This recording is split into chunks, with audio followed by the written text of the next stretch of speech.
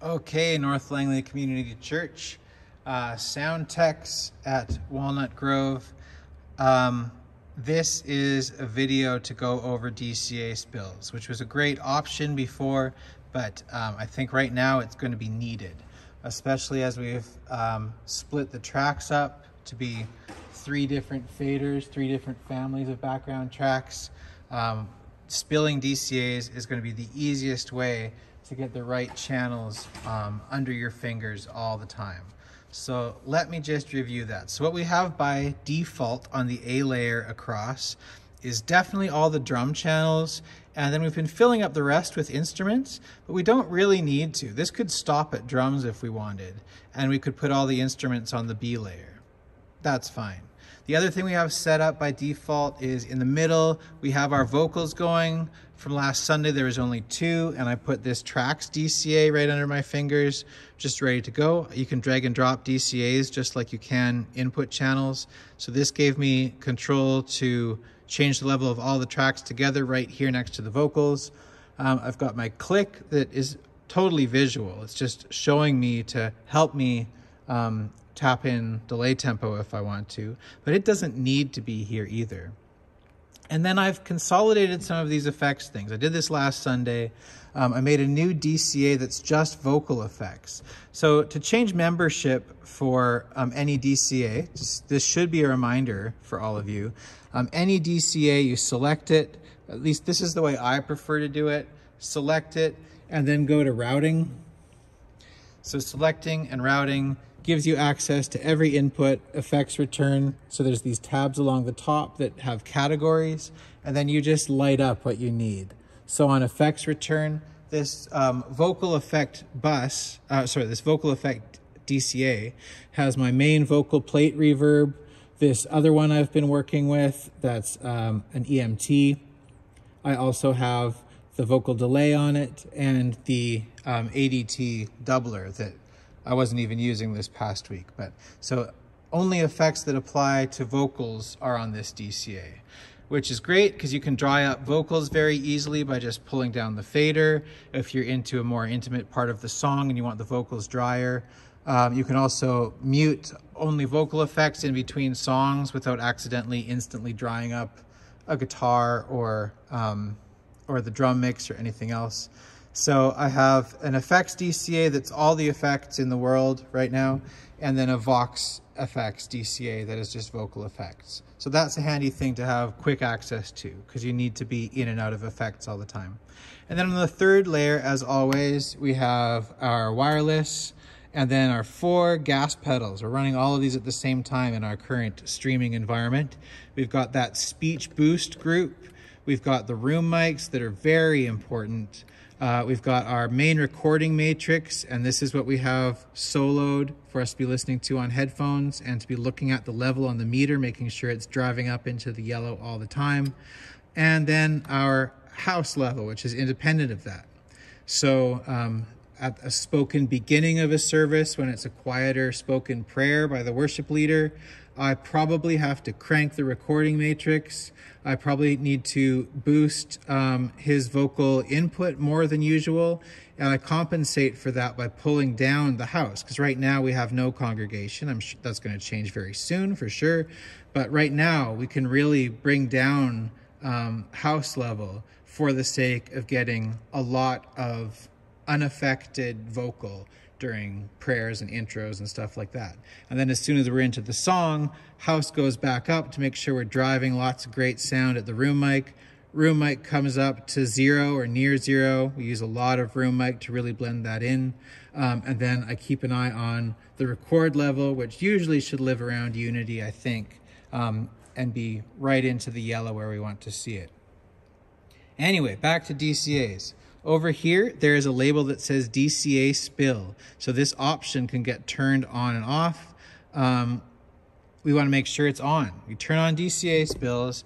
And then what happens is on the third layer, where I've got all these DCAs all living here, all I have to do is hit the mix button, and then everything else in the board gets replaced with only the members of this DCA. So I can be mixing from DCAs um, and if I want to make any change within the drums, it's just show me drums. A change in bass, a change in guitars, and just the guitars come up, just the keys come up, just the instruments um, come up that we weren't using this past week. These are things that are not guitars or keys, obviously. We've got tracks, we've got vocals, um, and then we've got the two effects DCAs, effects and vocal effects. Um, one thing worth noting is that when things spill out, they spill in the input channel order. So if you have put your vocals in a really weird order, um, they will be rearranged to what their inputs are. So when I go to um, channel number, I see this is 25 and 26. They're always in order. So even if on my center B layer, I had these switched because I wanted the leader first, that's all well and good. But as soon as you're spilling DCAs, you see things come up in number order that are on the group. So that's just something to be aware of when you build your vocal channels is you can't just swap the order around in a DCA spill like you can on the rest of the surface. So this gives me access to all the different families of instruments um, just by hitting mix. And then as soon as I release all the DCA mix buttons and I'm unspilled, I've got my vocals where I want them. I've got my um, vocal effect DCA, which you can treat as a vocal effects master pretty much. I've got my delay return that I'm riding all the time. It's out all the way until I tap tempo. Um, it's in the background for some sections. If I'm pushing a delay for a little bit, I will ride this and just let a long note um, cycle a bit with repeats. Um, it that just adds fullness to a long note um, by having it repeat and not be perceived as repeating, but just sound kind of thicker and extended. Um, sometimes we can do some phrase repeating, but um, I think people's ears are pretty attuned to that. And if you hear lyric repeating or you're hearing S's and other consonants repeat in time after a lyric, that gets really distracting really quickly.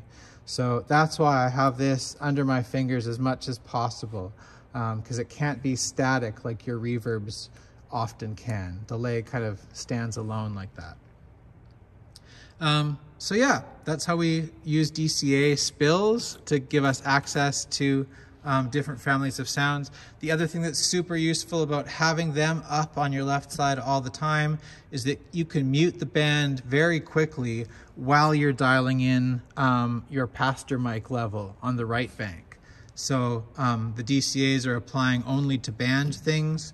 So I can mute out the band and be dialing in um, either a video on the iMac channel on the right, or um, like I said, the pastor or someone hosting on a handheld.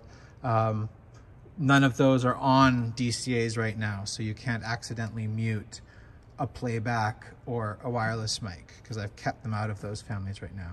So that's how I would love um, everyone to start using this, especially because of the tracks. I can quickly hit tracks and see my three different track families here. And you might start making notes about starting the guitar low on a certain song. Um, you might start making notes about, um, yeah, writing the percussion level or the pad level for different songs. Um, and during rehearsal, um, Corey can assign different elements of the background tracks into these three. So you can tailor this song by song. Um, eventually, it would be great to have different scenes that you're going to per song. But even without doing that, just making notes about, okay, I want to start percussion on minus 10 on this song because it's kind of hot, but later on in the song, I kind of want it at full. So I need to be aware of where to start it and where to finish it later on. So that just adds a whole bunch of mixing potential, EQing potential, compression potential, um, lots of different things we can do with the tracks and help them integrate in with the band more. That's my real end goal with tracks is I want it to feel like it's always part of the band. So um, if you have an acoustic guitar that's not being played on stage but is in tracks, I want to make sure that isn't sticking out like a sore thumb, especially when visibly there's no acoustic guitar player on stage. Um, it can just be a layer that's more percussive. Um, yeah, just kind of, you know, chiming through and has that, that, that nice crisp attack and rhythmic nature, but doesn't sound like it's a full-on band member in front of us because the cameras will show who's in front of us and what they are doing. So it helps um, just the whole um, pre-recorded part um, integrate better with the live musicians on stage.